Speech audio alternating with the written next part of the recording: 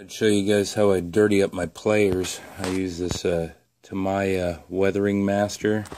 Just get it from Hobby Lobby. It's got a little applicator inside that you just kind of rub it onto pretty simply and and I just try to get it on the on the main contact points where if they fell they would more than likely get dirtied up they're in their white uniforms, I kind of hit the hit the whole thing a little bit compared to on the darks. The darks sometimes it just doesn't show up that well, but get the knees for sure.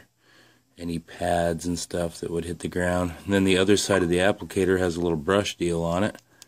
it lets you just brush off the excess. And it's got a pretty decent look when it's done. See if we can get that to focus a little. Alright, see you later.